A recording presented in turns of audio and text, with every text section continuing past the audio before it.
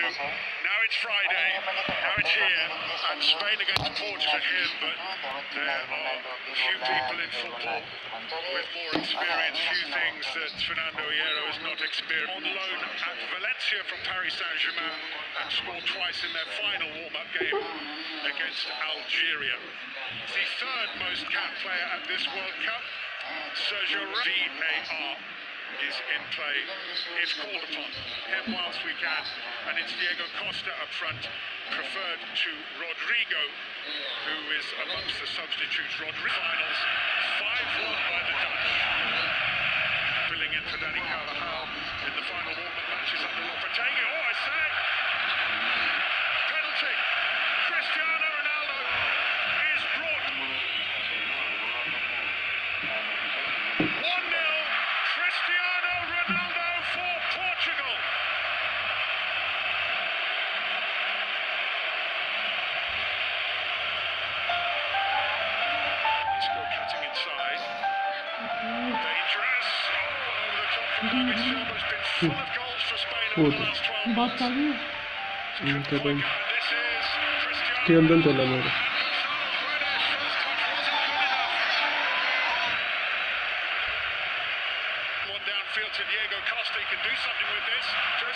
A problem.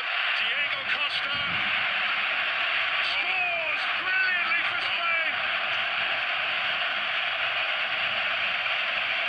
His critics well and truly answered. It was Diego Costa all on his own against the Portuguese defence, and Diego Costa scores.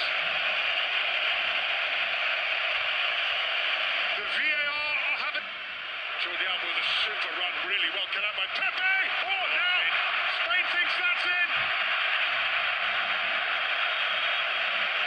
Costa again.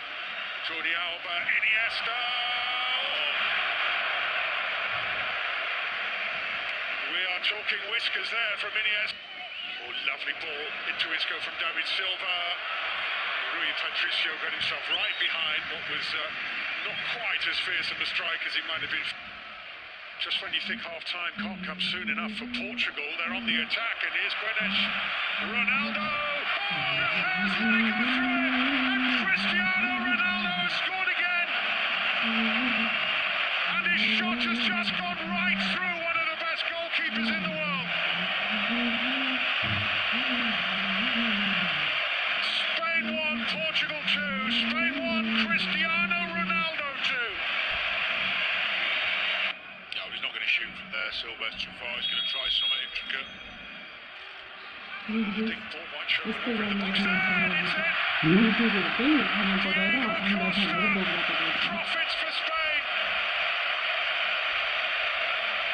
David Silva conjured a little bit of magic from cast a bit of chaos in the Portuguese ranks and the but then just unable to riddle free David Silva here. Uh, in amongst the legs, brilliant composure. And driven into the back of the net, an absolute peach of a goal by Nacho to put Spain in front. The man who can the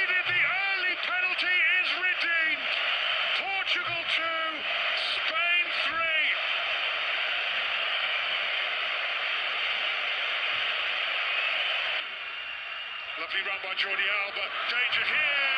Not the contact that Diego Costa was looking for. If it had been, it might have been a hat trick. Nice turn by Quaresma. He bent that in off the outside of his right boot. It would have been a contender. Ronaldo running in behind. Has he got there? Ronaldo, he has.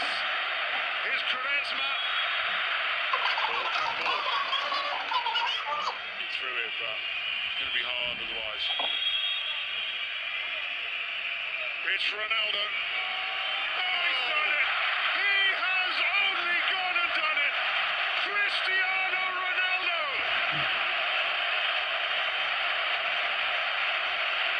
Sensational free kick! A brilliant hat trick!